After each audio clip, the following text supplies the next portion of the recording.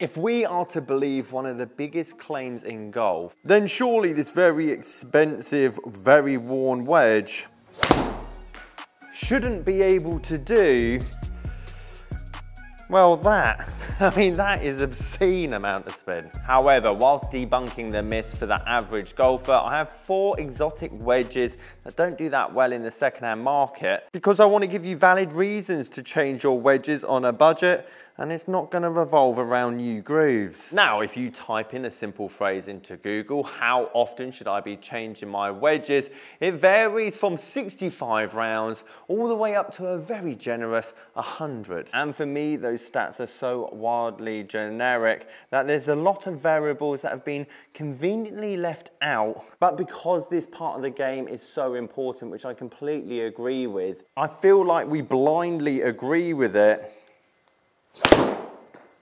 because this part of the game has so many variables, where do you begin to question it? Until today, which we're going to question the four different variables. And I think so crucial when it comes to wedges. Not only do I need to change them, but more do I have the correct head for my game. But first, let's talk about the merits of these claims and what grooves actually do and whose sharper grooves actually benefit more. I have a lovely little Cleveland RTX 3 wedge here, which again could be wrong for some of you out here as we go through the video. But the sole purpose of grooves is to channel away like dirt, debris, water, away from the ball when it makes contact with the wedge. Plus an added bonus of friction, but then that's when golf balls become very important in this equation as well. Dry 52 degree Cleveland wedge here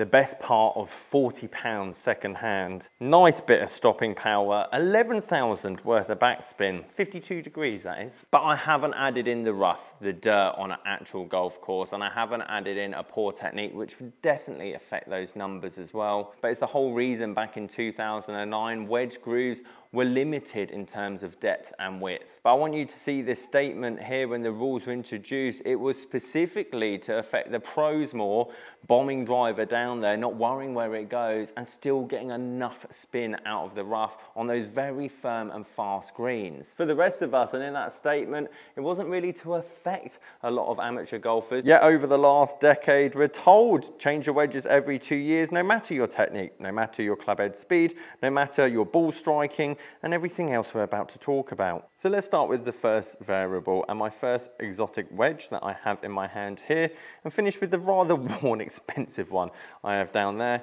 which I actually quite like. One of the first reasons we're told to upgrade our wedges is so that they're wide enough, sharp enough, that the ball doesn't ride up the face. And the higher the shot off the face with your wedge, the higher the launch, but lower the spin. The lower it is, the lower the launch, the higher the spin. However, I say this time and time again to a lot of my lessons, these clubs, or let's say your pitching wedge out of your iron set when you first pick up the game, one of the easiest clubs to master because it's the first one in your bag that you can consistently get up in the air. However, for some of you veterans watching this video, hopefully you'll agree with me, this is one of the hardest clubs in our game to master. I'll show you this nice little graphic on screen here where a strike location of a wedge should be. And when we start this game, because it goes up in the air, we feel, oh, that is a success. However, when you're dropping your handicap, and you're looking to increase spin with your wedges, strike location is so important.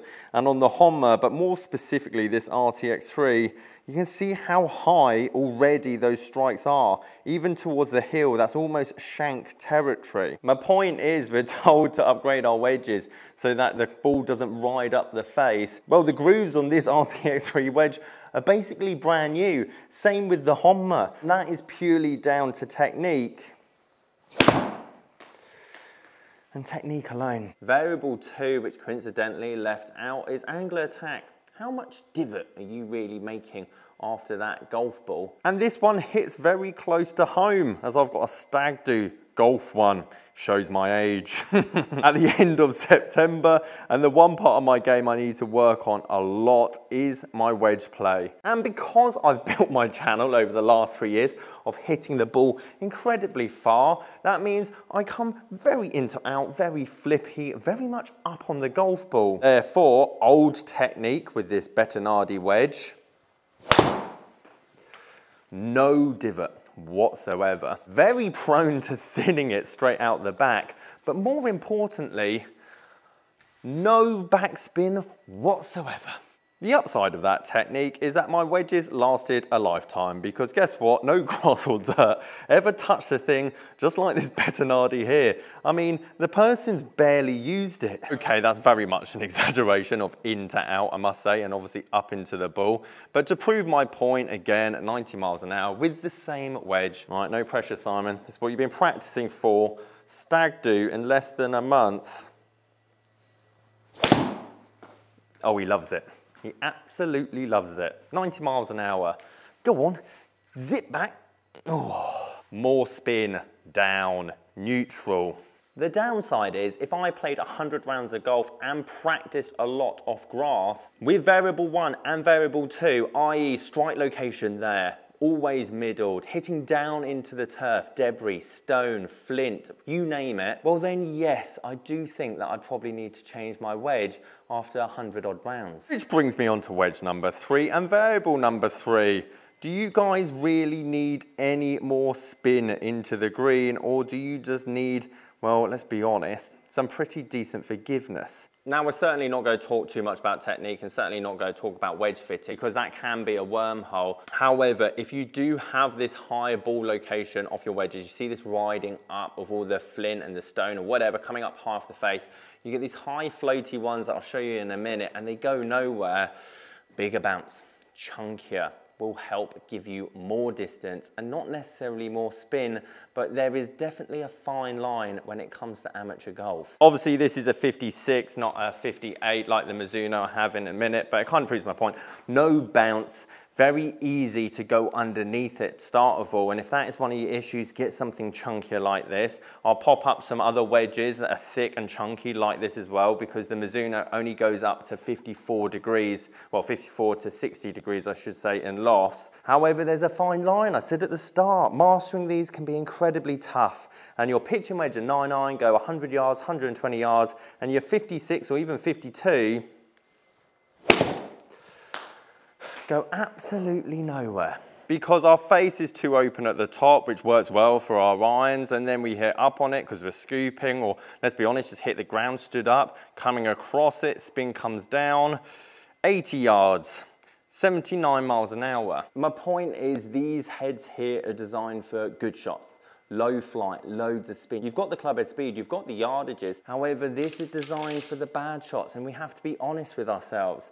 Wet, soggy lies in the winter, how confident are we? How often do we hit the middle of the face? Do we hit it high up here? And let's be honest, if we do have an astronomical amount of spin on our wedge, it's not going to go any further. And if you've got a massive gap between your pitching wedge and your iron set, cavity back, and then your 50 or 52 degree wedge, either get a gap wedge in the iron set or sand wedge if it comes in it, or get a chunky wedge set at the bottom. I appreciate these only go to 54 degrees,